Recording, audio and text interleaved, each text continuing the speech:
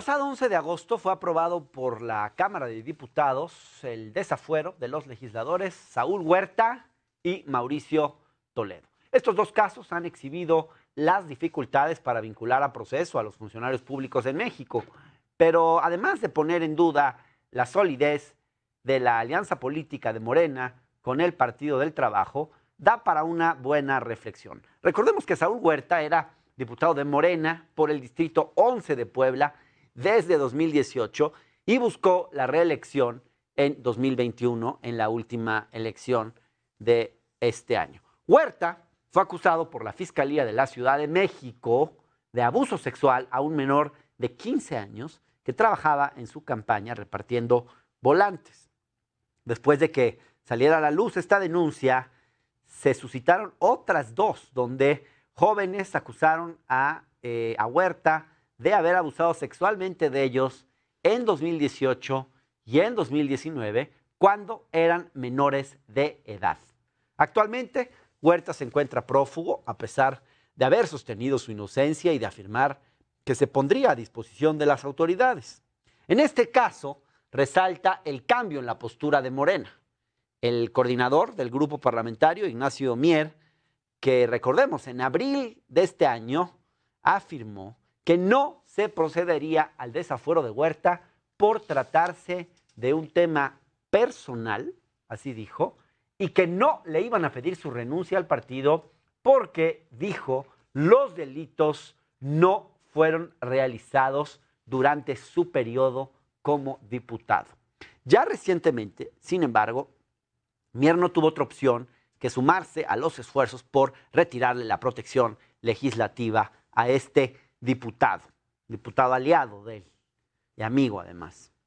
¿A qué se debe este cambio? Porque obviamente pues, la pregunta eh, que queda en el aire, a pesar de reconocer este importante avance como es el desafuero, eh, es por qué el Congreso, dominado por Morena y sus aliados, tardó cinco meses en apoyar el desafuero contra Huerta. En el caso del diputado del Partido del Trabajo, que tomó aún más tiempo, las acusaciones de la Fiscalía en su contra son por enriquecimiento ilícito durante su gestión como jefe delegacional en Coyoacán y como diputado local en la Ciudad de México.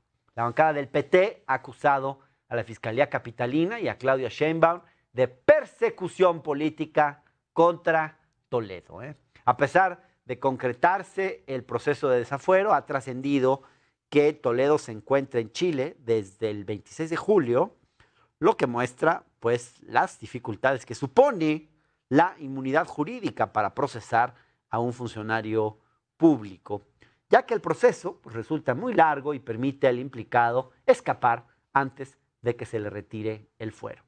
Y bueno, hay que decir que el caso de Toledo ha supuesto un enfriamiento entre los grupos parlamentarios de Morena y del PT, pues estos últimos abandonaron la sesión extraordinaria y la tacharon de circo político, mientras que el partido del presidente votó en favor del desafuero.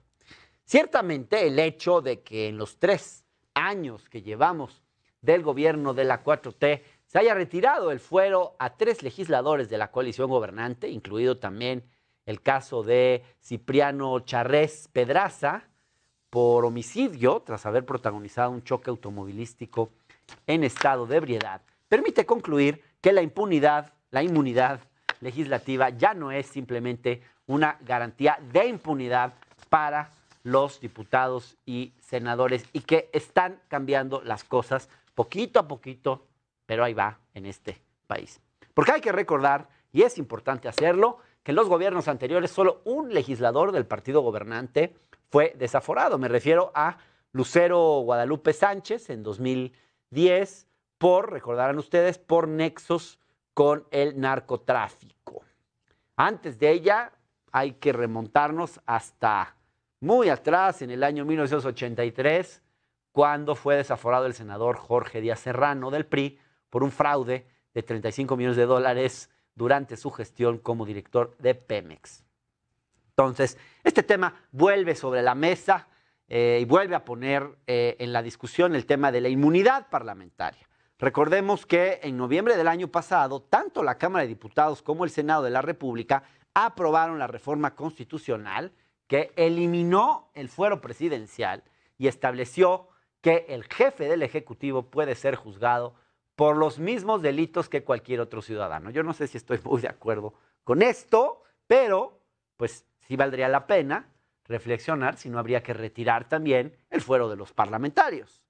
La inmunidad jurídica sigue teniendo algún valor o se ha vuelto simplemente un pasaporte a la impunidad en este país.